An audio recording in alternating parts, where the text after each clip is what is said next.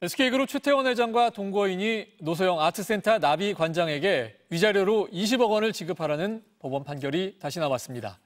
서울가정법원 가사 4부는 노 관장이 최 회장 동거인 김희영 TNC재단 이사장을 상대로 낸 소송에서 두 사람의 부정행위, 혼외자 출산, 공개적 행보로 혼인을 파탄나게 한 점이 인정된다고 밝혔습니다.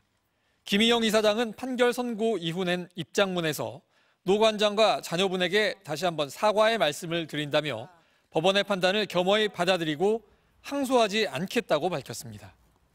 앞서 최 회장, 노 관장 부부의 이혼 소송에서 항소심 법원도 위자료 20억 원을 지급하라는 판결과 함께 역대 최대 규모인 1조 3,800억 원 규모의 재산 분할을 명령해 현재 대법원에서 상고심이 진행 중입니다.